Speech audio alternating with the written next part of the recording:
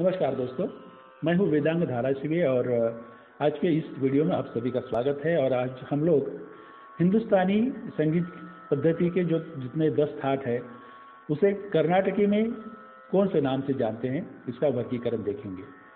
तो पहला थाट है बिलावल, उसको दक्षिण भारतीय पद्धति में श्री शंकराभरणम कहते हैं। दूसरा है कल्याण, जिसको दक्षिण भारतीय पद्धति में मेच कल्याणी कहते हैं। तीसरा है खमाज, उसे हरी काम्भोजी कहते हैं।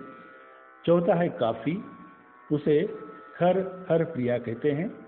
अगला है असावरी उसको नट भैरवी कहते हैं। उसका, उससे आगे है भैरव, जिसको कर्नाटक में माया माल गौड़ कहते हैं। अगला थाट है भैरवी, उसको कर्नाटक में हनुमत तोड़ी कहते हैं। अगला थाट है पूर्वी, जिसे कर्नाटक में कामवर्धिनी कहते हैं। और अगला थाट है मारवा जिसे कर्नाटक संगीत में गमन प्रिया कहते हैं और लास्ट जो आखिरी दसवा थाट है, तोड़ी हिंदुस्तानी में, जिसे कर्नाटक में शुभ पंतु वराली कहते हैं। तो इस प्रकार ये वर्गीकरण दोनों पद्धति में किया जाता है। तो आज के लिए इतना काफ़ी है। धन्यवाद।